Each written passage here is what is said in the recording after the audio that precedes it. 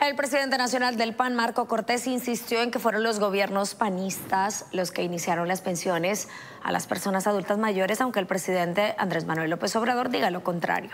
Ayer el PAN lanzó un spot en radio, televisión y redes sociales con el expresidente Vicente Fox, quien compara su gobierno con el de López Obrador y asegura que fue su gobierno el que inició la pensión de adultos mayores, programa emblema de los gobiernos obradoristas. El propio presidente replicó esta mañana desde su conferencia a Vicente Fox, a quien llamó cara dura, pues aseguró que es una reverenda mentira adjudicarse esta pensión. Sin embargo, desde su cuenta de Twitter, el dirigente del partido, Marco Cortés, insistió en la autoría de los gobiernos panistas.